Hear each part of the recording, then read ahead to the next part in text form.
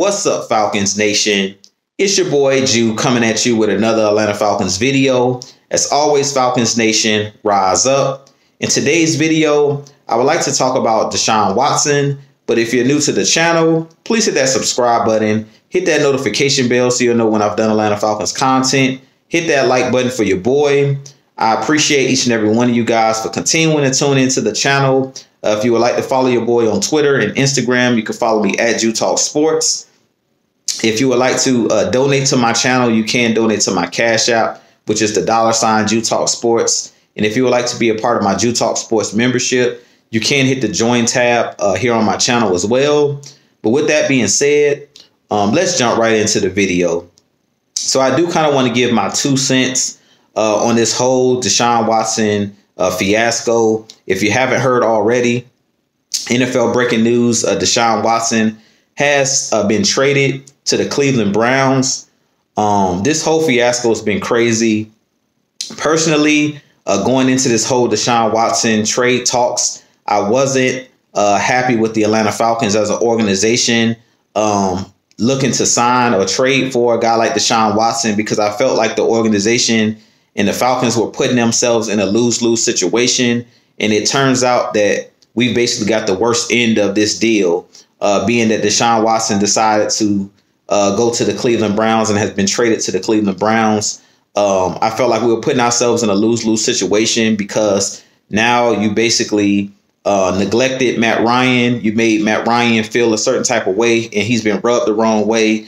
Uh, so now he possibly will still demand a trade and not want to be uh, the Atlanta Falcons starting quarterback any uh, anymore because basically now he feels like um, you know he isn't wanted uh, as the Atlanta Falcons quarterback anymore as a franchise guy, and I felt like they were putting themselves in a lose lose situation because it was no guarantee uh, that you were going to get a guy like Deshaun Watson and you know, Lord behold, it played out the way that I thought it could possibly turn out where the Falcons are left holding the bag uh, per se, where now the Falcons, um, you know, went all in on a quarterback that was, you know, basically being traded. And now he decided not to choose you as the team that he wanted to go with. So now Matt Ryan is sitting there. Yeah, he's still signed by our team, but at this point, you know, it's the elephants in the room at this point. And now you, the, I feel like the Falcons now possibly have to move on from Matt Ryan. I don't think it's a way that you can move forward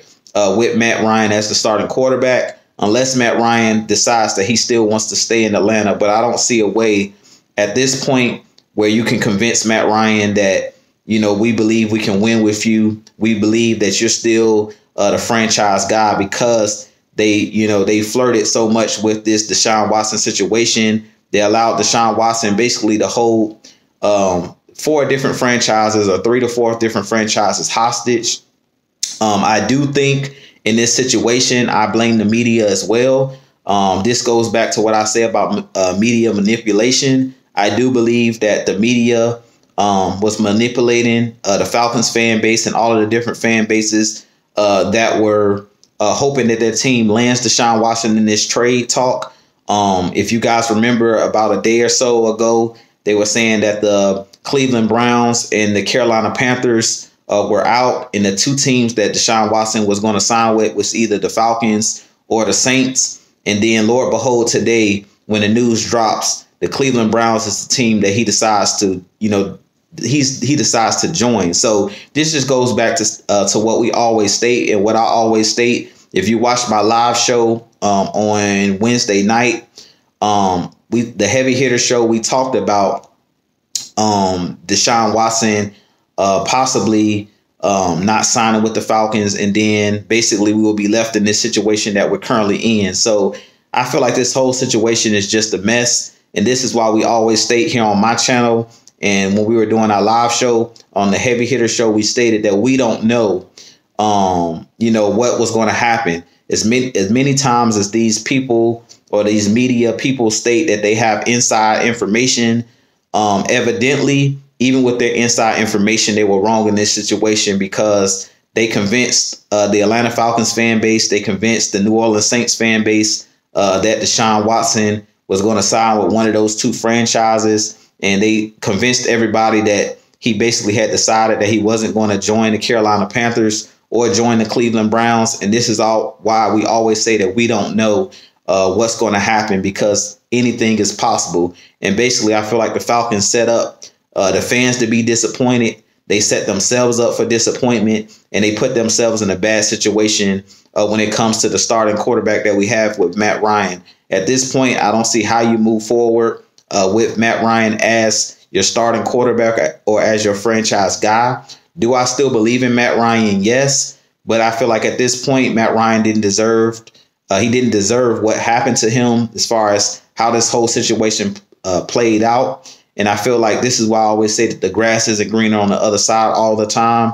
And when you put yourself at, you know, in this situation and put yourself at risk for no reason, now, you know, we're left holding the bag and now we're basically left with a disgruntled quarterback. And now this whole organization right now is a whole bunch of dysfunction. So I just feel like this whole situation looks bad for the Atlanta Falcons.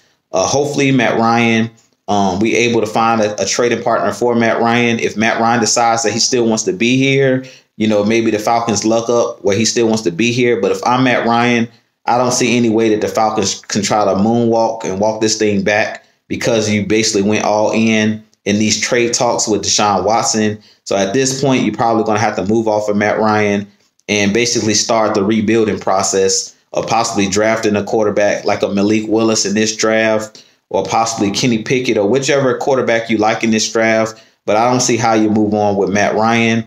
But this whole situation is just a complete mess. I'm very disappointed, embarrassed uh, for the fan base, and embarrassed for uh, the front office. They made themselves look really bad in this situation. And basically, I feel bad for Matt Ryan in this whole situation of how it's played out. But with that being said, you guys let me know what you think of the video. I have a lot more uh, content coming for you guys. As always, Falcons Nation, rise up.